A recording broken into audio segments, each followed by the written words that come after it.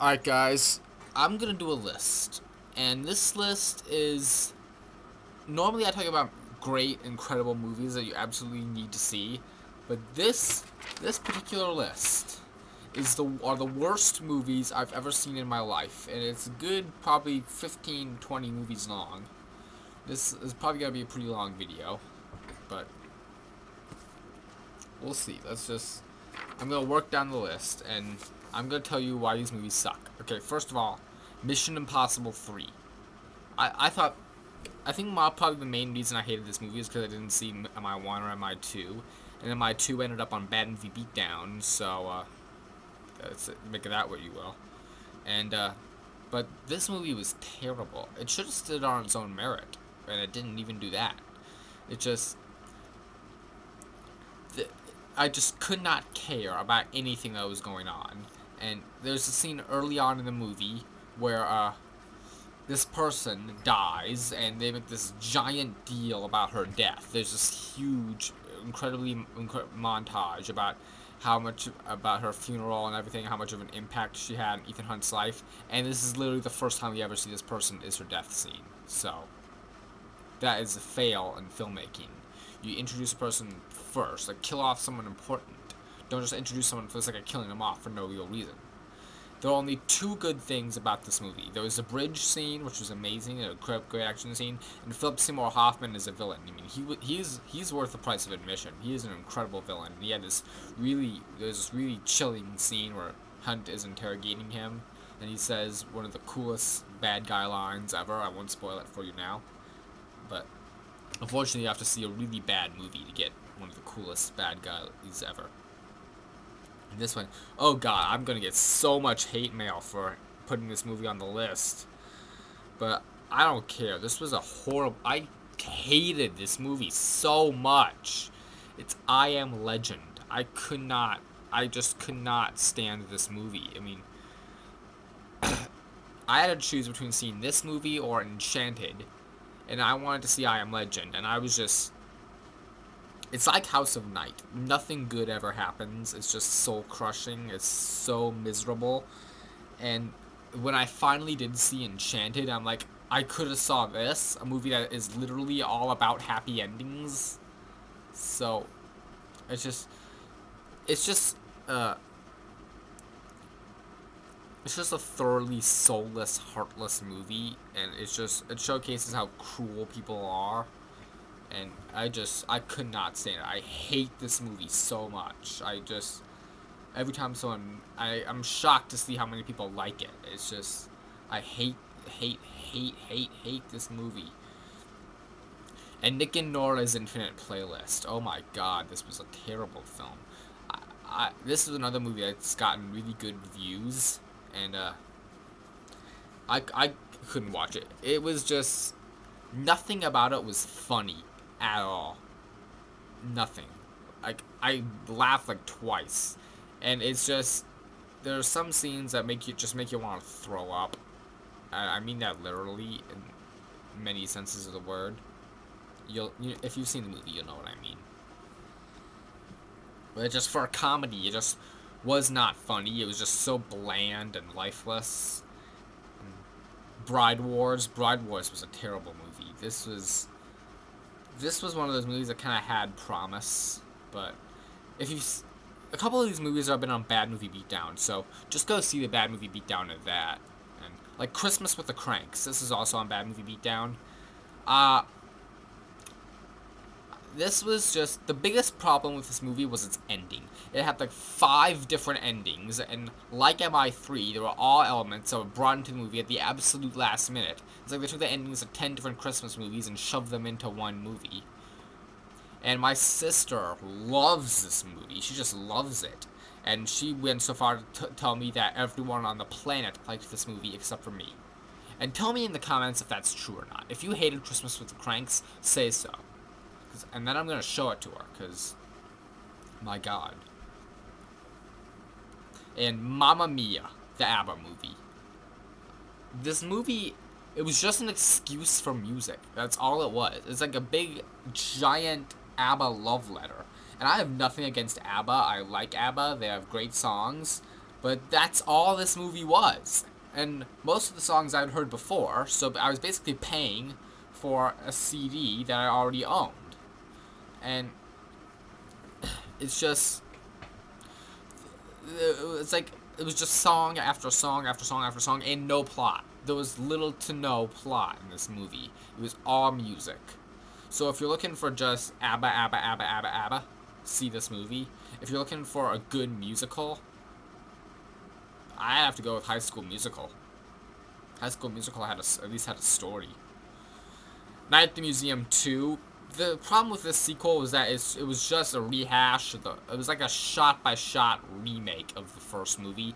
They literally copied the exact same joke with from from the from the first movie. They like literally honestly stole jokes from the predecessor. It was like just you were literally paying to see Night at the Museum 1 over again. It's like same thing, only bigger, not better. And uh, Cirque du Freak, I already reviewed this movie. I'm not going to go into it too much, just see my review of it. Same thing for New Moon. Just see New Moon, new my New Moon review. It has, New Moon has so many problems with it. I, this video would be two hours long if I were just, just to talk about New Moon. And speaking of vampires, I should probably mention vampires suck. Uh, probably a lot of you are going to wonder what I thought of that. I had to see this movie against my will. And, uh, because my sister wanted to see it, just, I warned her, look, this movie, this, it's a scam, it's a ripoff, this movie only exists to steal your money, and she didn't listen to me, and she made me watch it. There were, like, the, there were, like, two funny jokes. One of them is what I'll give you the funniest jokes in the movie. One of them is the scene you've seen it in the trailer where they rip off Scary Movie 2. The guy hits him with a baseball bat. He knocks the guy's head off. The head goes flying into the air. Then there's two guys sitting by the car having beer, and the head goes into the window. And the guy looks at the head and goes, "Kardashians." That was funny. And another scene, she's the fake Bella is driving her truck to school, and there's a parking sign in one of the parking spots that said, "This is reserved for angsty teen with crappy truck." That was good. But aside from that, the movie was just... There were scenes that honestly made me want to vomit. They were just, un like Nick and Nora, they're just unnecessarily gross. And, uh, The Invisible, I had really high hopes for this movie, but it didn't deliver for the sole purpose that the characters in this movie, forget the fact that they're bad actors. I mean, the girl, Annie, was a good actor, but the guy, he's the same guy from uh, one of the other movies on this list. He was in, like, War of the Worlds and something else. He was in something else, but I'll get back to that. He just was a horrible, horrible actor. And the problem is that these characters, these are main characters, and they're not likable at all. One of these characters is like a, is like a bully, and she like attacks people and cuts them and steals things. She's a like a teenage criminal, and this one kid contemplates is like almost trying to kill himself all the time. And uh, the problem is, it's it's called The Invisible. It's about like a kid trapped in limbo, and there's little to zero focus on that. It's just all about this other girl.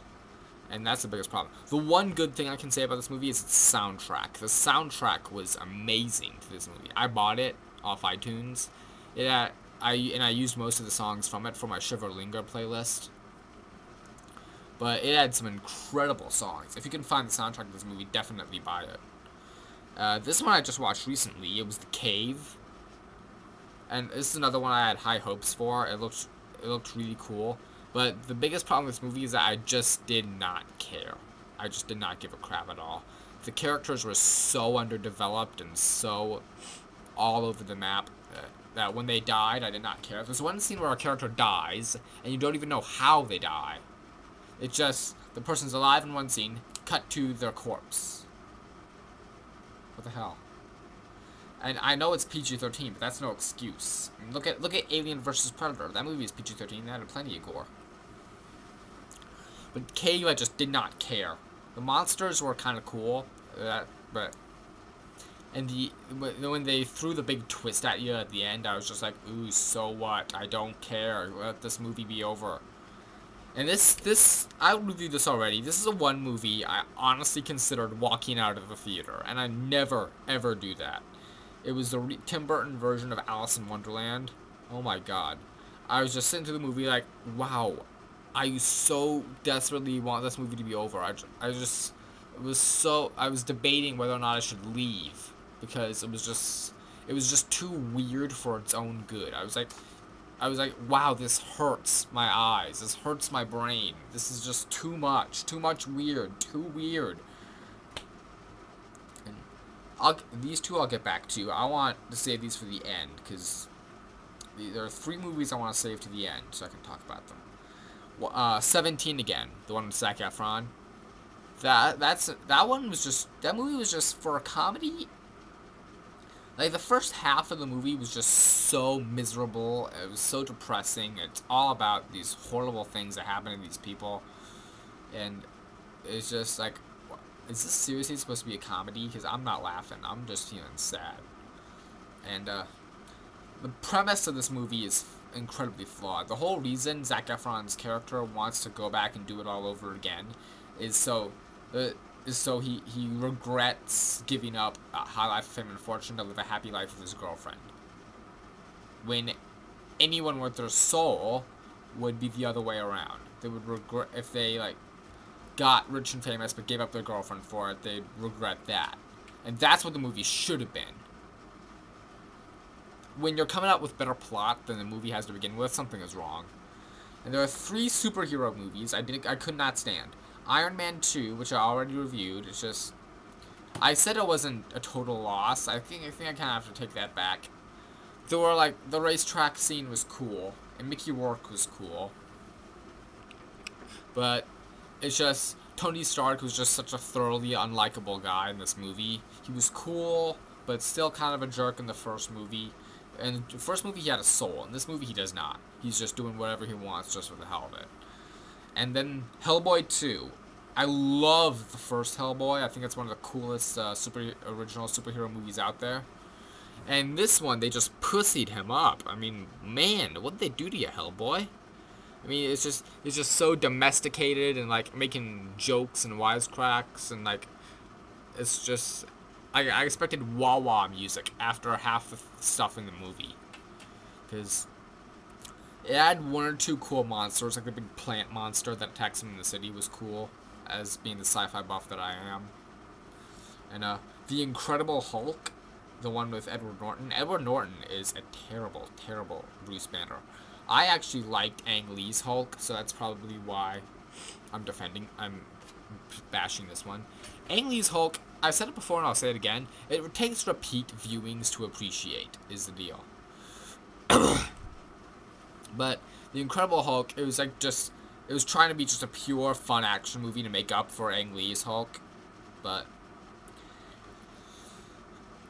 it, Edward Norton is just the worst possible guy for the Hulk. He's just, he's not.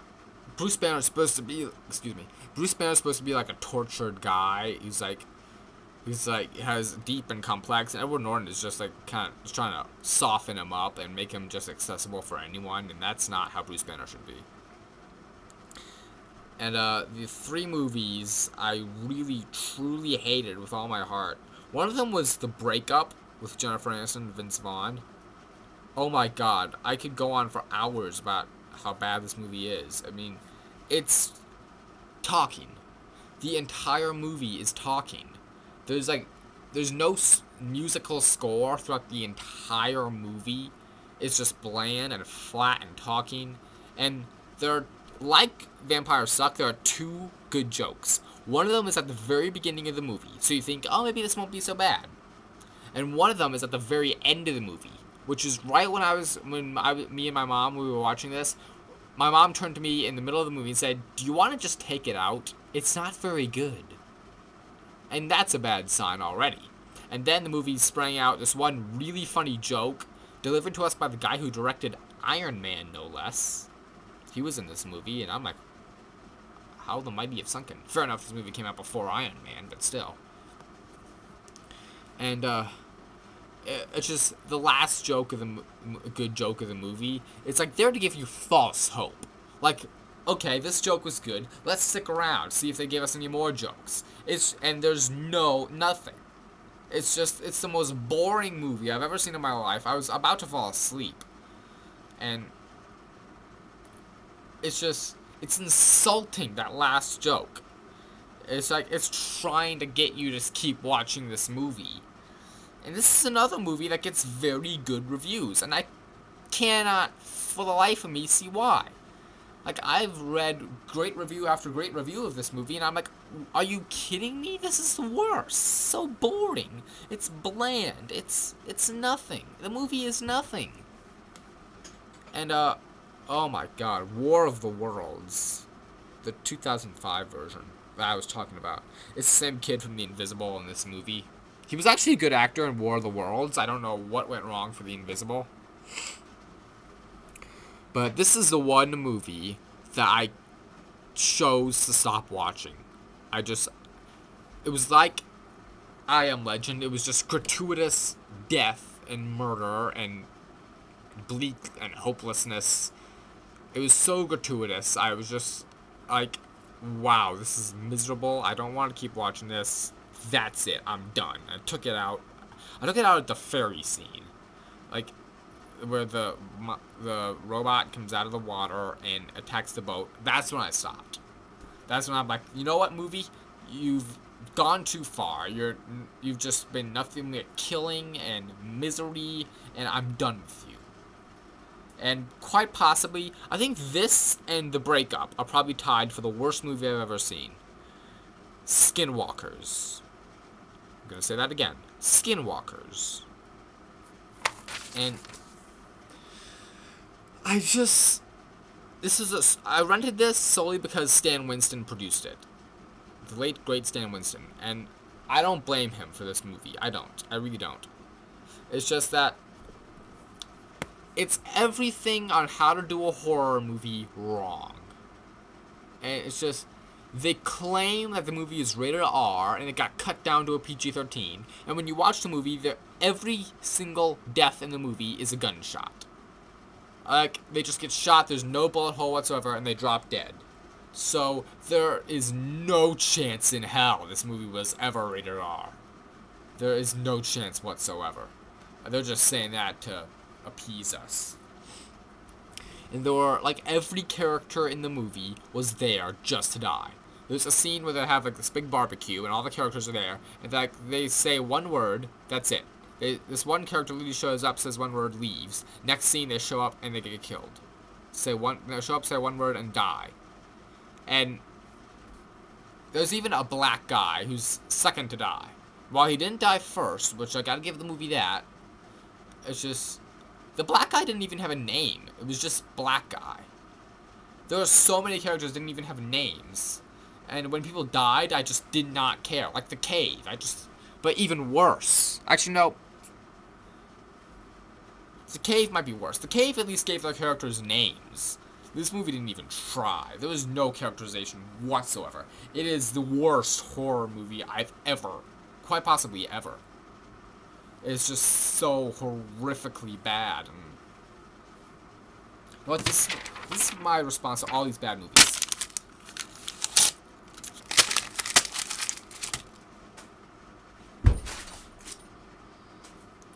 They suck. And there are some movies I can't really talk about, like Sherlock Holmes. I actually, I don't really count that because I was about to fall asleep when I was watching that movie. So I, I was, it was between going to bed or finishing the movie, and I wanted to go to bed. And there are some movies I just see the trailers for, and the like Letters to Juliet. The trailer for that movie literally hurt like every time that trailer popped up in the movie theater, I would just like groan. I was like, not this again. This is the the trailer physically hurt. And then there's the unspeakable film. I I I can't even. I can't even spell it. I'm not even gonna. I'm not even gonna tell you what it is. It's just. I haven't even seen it. I'm never going to see it. I avoid it like the plague. I shiver, like shudder whenever I see it in like Blockbuster or something. I, I'm ashamed to be in the same room with it, and I haven't even seen the darn thing. Just imagine that. I'm not going to tell you what it is, because I'm ashamed to say the title of it. But those, those are the worst movies I've ever seen. Tell me what the worst movies you've ever seen were. And tell me if you agree with my list or not. Frenzy 27 is